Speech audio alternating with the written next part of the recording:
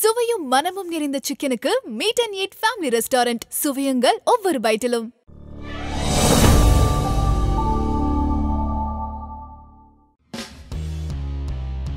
meet and eat family restaurant வழங்கும் Vikatan press meet அதற்கு அவர் செய்ய வேண்டிய செயல் மக்களை சென்றடையும் செயல்களாக இருக்க வேண்டும். அதைத்தான் நாங்கள் எதிர்பார்க்கிறோம். அதனால தான் கோபேக் கோபேக்னா நீங்கள் நான் தான் உங்களுக்கே தெரிஞ்சிருக்குமே. அதுவாக மாறி இருக்கிறேன் நீங்கள் கொடுத்த டைட்டில்லாம் என் மேலே ஒட்டலை.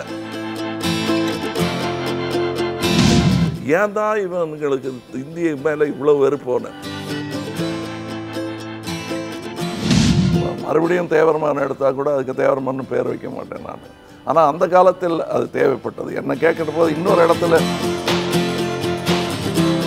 மீட் அண்ட் ஃபேமிலி ரெஸ்டாரண்ட் வழங்கும் விகடன் பிரஸ் மீட் ஒரு நிமிஷம். நீங்க இப்ப இருக்கக்கூடிய சூழல்ல இருந்து விடுபட்டு ஒரு ஆயிரம் வருஷம் ஃபியூச்சருக்கு டைம் டிராவல் பண்ணி போனீங்கன்னா இப்போ இங்க கீழடியில நடந்துட்டு இருக்க மாதிரியான ஒரு வரலாற்று ஆராய்ச்சி அப்போ அங்க நடந்துட்டு இருக்கும் இந்த கல்வெட்டு பாறை அப்படின்னு இல்லாம அது ஒரு வேற மீடியம்ல இருக்கும்னு வைங்களேன். அப்போ அங்க இருக்கவங்களுக்கு ஒரு மனிதர் குறித்த தகவல்கள் கிடைக்கும். அது அவங்கள ரொம்ப ஆச்சரியப்படுத்தும் அதிர்ச்சிக்குள்ளாக்கும்.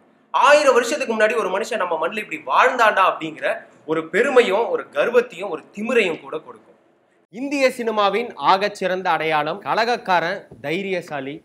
சினிமா உலகத்துல பல அளப்பரிய சாதனைகளை படைச்சிட்டு இப்போ அரசியல் களத்துக்குள்ள பல சாதனைகளை படைக்கிறதுக்கான பயணத்துல இருக்கக்கூடிய மக்கள் நீதி மையத்தின் தலைவரும் உலக நாயகனுமான கமலஹாசனை வரவேற்பதில் பெருமை கொள்கிறது விகடன்.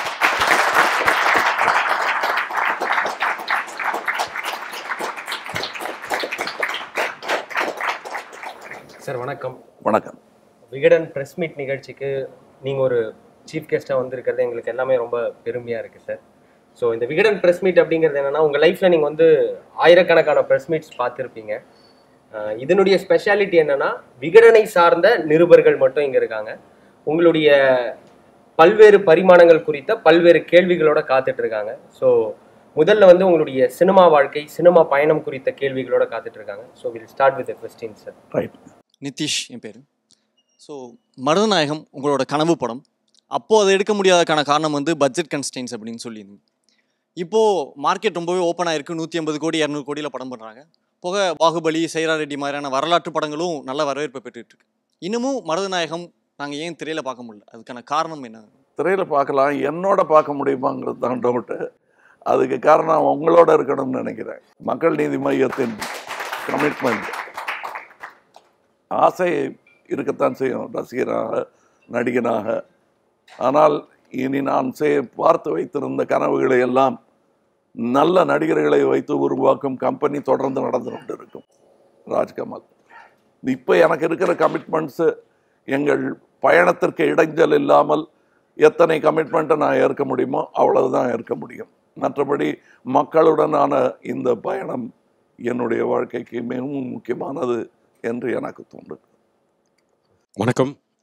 என் பேர் சுகுணா திவாகர் இப்போ உங்கள்கிட்ட அடிக்கடி கேட்கப்பட்ட ஒரு கேள்வி தேவர் மகன் சபாஸ் நாயுடு இந்த மாதிரி படங்களுடைய டைட்டிலில் வந்து ஜாதி இருக்கிறது அப்படிங்கிற கேட் கேட்கப்பட்ட கேள்விக்கு நீங்கள் சொன்ன பதில் நோயினுடைய பேர் தெரியாமல் சொல்லாமல் எப்படி ஒரு மருந்தை வந்து தயாரிக்க முடியும் அப்படிங்கிற பதிலை நீங்கள் வந்து சொல்லியிருக்கீங்க. அதை ஒட்டி ஒரு ஒரு மூன்று கேள்விகள் அதை வைத்து வந்து கிட்டத்தட்ட ஆயிரத்தி தொள்ளாயிரத்தி முப்பதுகளிலிருந்தே பேர்லேருந்து ஜாதி பட்டத்தை திறக்கணும் அப்படிங்கிறது தமிழ்நாட்டில் ஒரு பெரிய முயற்சியாக நடந்து வந்தது. ஒரு எழுபது ஆண்டுகளாக வந்து தமிழ்நாட்டில் வந்து ஜாதி பட்டத்தை போடுறதுங்கிறது ஒரு நடைமுறையில் வந்து வந்துருச்சு வந்து. இந்தியாவிலேயே ஒரு தனிச்சிறப்புமிக்க மாநிலமாக தமிழ்நாடு அதில் வந்து திகழுது. இப்படி ஜாதி பெயரை துறந்த ஒரு தமிழகத்தில் சாதி பெயரை வைத்து ஜாதியை ஒழிப்பது அப்படிங்கிறது எந்த அளவுக்கு சாத்தியம் அப்படிங்கிறது ஒன்று ரெண்டாவது அப்படி சாதி பெயரை போடுவது ஒரு யதார்த்தம் அப்படின்னு வச்சுக்கிட்டா கூட ஆதிக்க சாதிகள் தான் தன்னோட பேருக்கு பின்னால் ஜாதி போடுறது அப்படிங்கிறது இயல்பாக இருக்குது இன்றைக்கு வரைக்குமே.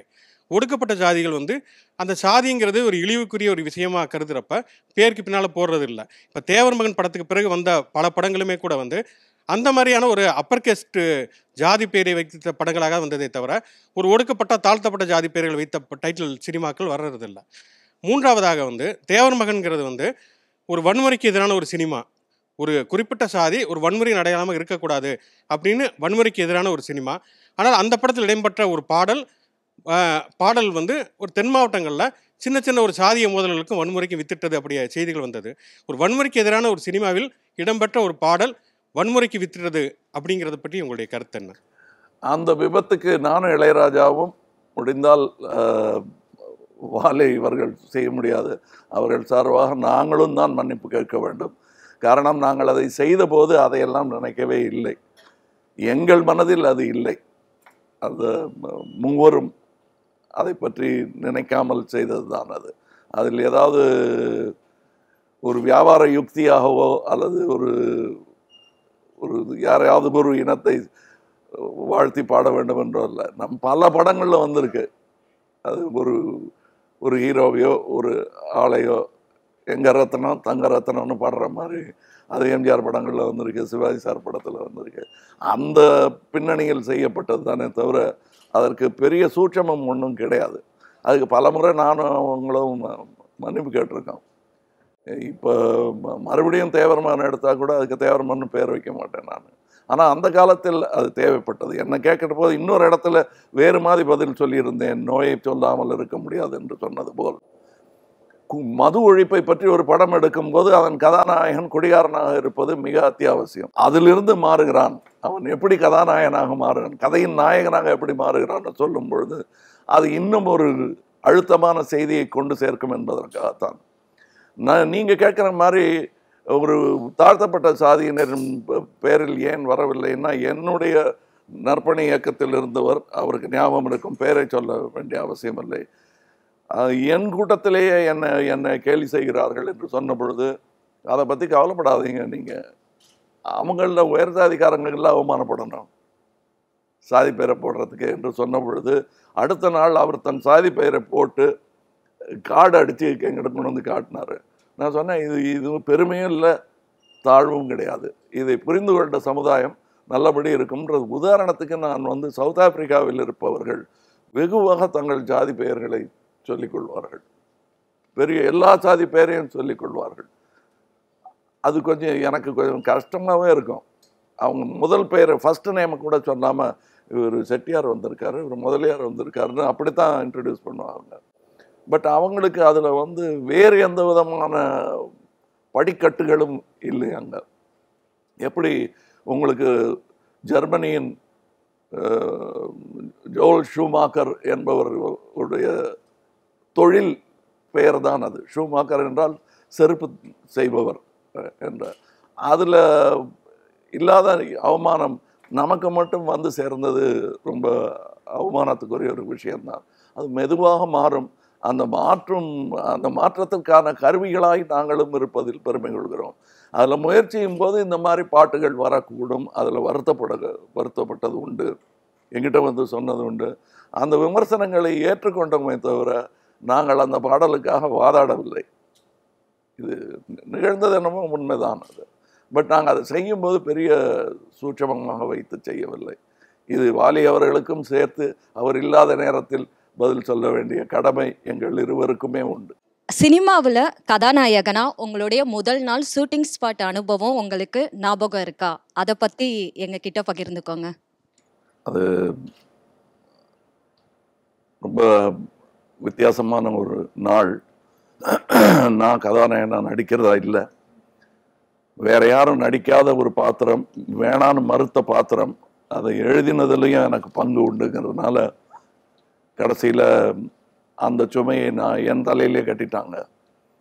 இந்த பொதிக்கு இந்த கழுதை தான் லாயக்குன்னு சக்தியை நான் முடிவு பண்ணி உணர்ச்சிகள் என்ற படத்தின் ஷூட்டிங் அரங்கேற்றத்திலலாம் சின்ன சின்ன வேஷங்கள் பண்ணிகிட்டு இருக்கும்போது உணர்ச்சிகளில் கதாநாயகன் கதையின் நாயகன் என்ற நிலையில் எங்களுக்கு இருந்த பண வசதியில் பெரிய அரங்குகளுக்கெல்லாம் போக முடியாது. கேமராவே வாடகைக்கு கொடுக்காம கடனுக்கு கொடுத்துருந்தாரு எங்கள் நண்பர் ஒருவர். ஸோ அதை எடுத்துகிட்டு வந்து ஷூட் பண்ணுறதுக்கு இடம் தேடி கிடைக்காம கடைசியில் இன்று மக்கள் நீதி மையம் கட்சி துவங்கி இருக்கும் அதே எல்டான்ஸ் ரோடில் தான் என்னுடைய கதாநாயக வாழ்வு ஆரம்பித்தது. அதை சற்றும் எதிர்பாராத ஒரு விஷயம் அந்த விஐபி பிரமுகர் எனக்கு சுவிட்ச் ஆன் செஞ்சவங்க என் தாயார் ராஜலட்சுமி அம்மா அவர்கள். அது திட்டமிடலை நாங்களும் சரி அவங்களும் அதுக்கு ஆசைப்படலை. ஆனால் என்னுடைய மிகப்பெரிய ரசிகை எனக்கு சுவிட்ச் ஆன் பண்ண என்னுடைய வாழ்க்கை தொடங்கியது. இவ்வளவு தூரம் பயணிப்போம் இந்த இடத்தெல்லாம் அடைவோம் இதெல்லாம் நம்ம பண்ணணும் அப்படின்னு அன்னைக்கு நைட் ஏதாவது யோசிச்சிங்களா சார் நான் அன்னைக்கு நைட்டு அடுத்த நாள் ஷூட்டிங் நடக்கணுமேங்கிற மாதிரி யோசிச்சுட்டு இருந்தேன். இதை யோசிக்கவே இல்லை. ஆனால் என்னுடைய தகப்பனார் எப்போவுமே நான் ஒரு அடி எடுத்து வச்சேன்னா அங்கே எப்போ போகிறேன்னு கேட்பார் வேற ஒரு இடத்த காட்டி. எனக்கு கொஞ்சம் எரிச்சலாகவே கூட இருக்கும். என்ன ஒரு விஷயம் சொன்னால் அப்படி உச்சி முகராமல் வேறொரு உச்சியை காட்டுகிறார் என்ன தோணும். பட் அது அவர் அப்படியே பழகிட்டார். அது என்னுடைய ஒரு பயணத்திற்கும் ஒரு ஒரு வேகமாக உத்வேகமாக இருந்தது. முத முதல்ல பத்தொம்போது வயசில் ஃபிலிம் ஃபேர்னு ஒரு இதில் அவார்டு கொடுத்தாங்க எனக்கு. சிற சிறந்த நடிகர்னு. பத்தொம்போது வயசில் இதை சாதித்து விட்டது. பெரிய சாதனை நடத்திட்டு எங்கள் அப்பாவுக்கு தந்தி டெலகிராம் அடித்தேன் நான். இந்த மாதிரி I won I am nineteen I won the Filmfare அவார்டுன்னு அதை ஒரு அஹ், அவையடக்கத்தோட அடிக்கோடிட்டு காட்டியிருந்தேன். பதிலுக்கு அவர் குட் வென்னிஸ் ஆஸ்கார்ஸ்ன்னு கேட்டு அது எனக்கு எனக்கு கிண்டல் அடிக்கிறாரா இல்லை உற்சாகம் ஒட்டுகிறாரான்னு தெரியாத ஒரு சூழல். நாலு டைட்டில் சொல்கிறேன் சார். உங்களுக்கு வழங்கப்பட்ட டைட்டில் அதில் எது உங்களுக்கு மனசுக்கு ரொம்ப நெருக்கமானது அதுக்கான காரணத்தையும் சொல்லுங்கள் காதல் மன்னன் உலகநாயகன் நம்மவர் உங்கள் நான். உங்கள் நான் தான் உங்களுக்கே தெரிஞ்சிருக்குமே. அதுவாக மாறி இருக்கிறேன். நீங்கள் கொடுத்த டைட்டில்லாம் அது வந்து என் மேலே ஒட்டலை. ஒருவேளை எனக்கு தகுதி இல்லையோ என்னமோ அதுக்கெல்லாம். இதுதான் எனக்கு ஒட்டி பிடித்த ஒரு விஷயம். அதனால் நான் அதை கட்டி பிடிச்சிக்கிட்டேன் நான். சார் சிரஞ்சீவி வந்து சமீபத்தில் ஒரு பேட்டியில் கமல் ரஜினி ரெண்டு பேருக்கும் ஒரு வேண்டுகோள். அரசியல் வேண்டாம். இட்ஸ் நாட் ஒர்த் இட் அப்படின்னு சொல்லியிருந்தாரு. அவருக்கு உங்களுடைய பதில் என்ன? அது ஏற்கனவே சொல்லி விளையாட்டாக சொன்ன ரொம்ப நண்பர் அவர். அவருடைய அனுபவம் என்னுடைய அனுபவமாக வேண்டியதில்லை. நாகேஷ் என்கிட்ட சொன்னார் எதுக்கு ப்ரொடக்ஷன் கம்பெனிலாம் ஆரம்பிக்கிற? நான் ஆரம்பித்தேன்னா பாரு அப்படின்னாரு. அது அவருடைய அனுபவம் அவருடைய நம்பிக்கை. நாகேஷ் நான் மிகவும் நான் மதிக்கும் ஒரு மனிதர். ஆனால் நான் இன்றைக்கி ஆரம்பிச்சிருக்கேன் கம்பெனி அதில் நீங்கள் நடிக்கிறீங்க எப்படி இருக்குது அப்படின்னு நான் கேட்டிருக்கேன் அவர்கிட்ட. படம் எடுக்கும்போது வேண்டான்னு சொன்ன நண்பருங்கிறதையும் விட ஒரு குரு மாதிரி அவர் எனக்கு. ஆக எல்லா அறிவுரைகளையும் நாம் கேட்டுக்கொள்ளலாமே தவிர அதுபடி நடக்க வேண்டிய அவசியம் இல்லை சார் அந்த தமிழ் தமிழ் அடையாளங்கிறத பற்றியான ஒரு கேள்வி. அமித்ஷா வந்து ஹிந்தி திணிப்பு அப்படிங்கிற விஷயத்தை தொடர்ந்து முன்னெடுத்துட்டு வராரு. மோடி வந்து எங்கே போனாலுமே வந்து இது புறநானூறு சொல்கிறது குரல் சொல்கிறதுன்னு தமிழை தொடர்ச்சியாக பேசிகிட்டு இருக்காரு. இது ஒரு ஸ்ட்ராட்டஜியாக பார்க்க முடியுமா இதை? ஆமாம்மா இது எல்லாம் அது நான் ஏற்கனவே சொன்னேனே. அதாவது நாகாலாண்டுக்கு போகும்போது கொம்பு வச்ச தொப்பி போட்டுக்கிட்டு டான்ஸ் ஆடுவாங்க. இல்லை அம்பு விடும் கூட்டத்துக்கு போய் அந்த அம்பை ஒரு வாட்டி விட்டுட்டு அதுக்கப்புறம் அதை தொடவே மாட்டாங்க. ஆக இதெல்லாம் காலகாலமாக அரசியல்வாதிகள் செய்து கொண்டு வருவோம் இதற்கெல்லாம் மக்கள் பயந்து மயங்கி விட மாட்டார்கள். எல்லாருக்கும் வந்து நம்ம ஃபஸ்ட்டு திங் அட வேட்டிக்கிட்ட தெரியுமா அவருக்கு? அப்படிங்கிறது மட்டும்தான் நிற்குமே தவிர ஆகா இது இனி நம்ம கைவிட மாட்டாருங்கிற நம்பிக்கையெல்லாம் வராது. அதற்கு அவர் செய்ய வேண்டிய செயல் மக்களை சென்றடையும் செயல்களாக இருக்க வேண்டும். அதைத்தான் நாங்கள் எதிர்பார்க்கிறோம். அதனால தான் கோபேக் கோபேக்னா செய்யாமலே போயிடக்கூடாது பாருங்க. அதான் செஞ்சுட்டு போங்க. போகிறதா இருந்தா. ஆனால் செய்யாமல் போயிடாதீங்கிறது தான் எங்களுடைய வேண்டுகோள். ஆனால் செய்ய வேண்டிய கடமை இருக்கிறது. இது இந்த இந்த வரைபடத்தில் நாம் வந்து மிக அழுத்தமான ஒரு இடத்தில் இருந்து கொண்டிருக்கிறோம். அதனால் அதை கேட்க வேண்டிய உரிமை நமக்கு இருக்கிறது செய்ய வேண்டிய கடமை அவருக்கு இருக்கிறது. அதைத்தான் செய்யணும். இதை மாற்றி மாற்றி இந்த அரசியல் விளையாட்டு விளையாடுறது நம்ம பல தலைவர்கள் இடத்தில் பார்த்துருக்கிறோம். இந்தியை பொறுத்தவரை நமக்கு வந்து அது மேலே வெறுப்பு கிடையாது. அது சொன்னால் புரியவே மாட்டேங்குது. அதுவும் வடநாட்டில் இருக்கும் ஒரு இந்தியராக நீங்கள் இருக்கும் பட்சத்தில் ஏன் தான் இவங்களுக்கு இந்திய மேலே இவ்வளோ வெறுப்போன்னு? இந்தி மேல் எந்த வெறுப்பும் கிடையாது. எங்களுக்கு எந்த மொழி மேலேயுமே வெறுப்பு கிடையாது. இல்லைன்னா ச- நெஞ்சை நிமிர்த்தி ச- சந்தோஷமாக தேசிய கீதத்தை நாம் வ- வங்க மொழியில் பாடுவோமா? தைரியமாகவும் சந்தோஷமாகவும் தப்பாக கூட பாடுவோம். ஆனால் பெருமையாக பாடுவோம். ஏன்னா இது என் தேசிய கீதம் என்று. புரியாமலே கூட சில நல்ல விஷயங்களை செய்வோம் நாம். அதனால் நம்ம இஷ்டத்துக்கு விட்டுட்டா அவங்க அவங்க செஞ்சுப்பாங்க. அதை எப்படி நீங்கள் திடீர்னு தெலுங்கு பேசாத நீங்கள் இனிமேல் இந்தியா பேசுன்னு தெலுங்கர்கள்கிட்ட போய் சொல்ல முடியும்? அவங்களுக்கு தாய் தெலுங்கு அல்லவா அது? நமக்கு தாய் தமிழ் மாதிரி அவங்களுக்கு தாய் தெலுங்கு. அதை பொரு அந்த அந்த புரிதலுடன் தான் இந்த நாடு கைகொலிக்கு ஒன்று சேர்ந்தது. அதை திடீர்னு பறித்து எடுக்க முடியாது என்பது தான் நாங்கள் திரும்பி வலியுறுத்த விரும்புவது. சார். அதாவது தேர்தல் அப்படின்னா வந்து ஒரு பலம் பொருந்திய கூட்டணி அமைக்கணும் அப்படின்றது தான் நம்ம இதில் நடைமுறையில் இருக்குது. பிஜேபி காங்கிரஸ் இங்கே வந்து அதிமுக திமுக எல்லாமே வந்து கூட்டணி அமைச்சு தான் போட்டிடுறாங்க இப்போ வரக்கூடிய சட்டமன்ற தேர்தலில் நீங்கள் கூட்டணி அமைச்சு போட்டியிட வாய்ப்பு இருக்குதா? வாய்ப்பெல்லாம் இருக்குது பட் நான் சொன்ன ஒரே விஷயம் வந்து கொள்கை சம்பந்தமானது தமிழகத்திற்கு எது வேண்டும் என்ற நேர்மை சம்பந்தமானது. ஸோ அது ரொம்ப ஜாக்கிரதையாக கூட்டணி அமைக்க வேண்டும். அவ்வளோதான் கூட்டணியை பற்றிய ஒரு ஒரு விரோத மனப்பான்மை கிடையாது. ஆனால் நேர்மைக்கு விரோதமான எவற்றையும் எதிர்கொள்ளும் ஒரு மனப்பாங்கு எங்களுக்கு உண்டு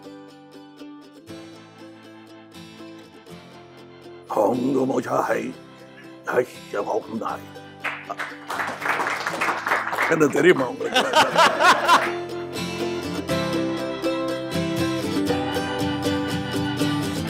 Cheesy juicy burgers bucket chicken fried chicken biryani என வகை வகையான டேஸ்டி டிஷ்களை ருசித்து மகிழலாம். Meet and eat family restaurant சுவையுங்கள் ஒவ்வொரு பைட்டிலும்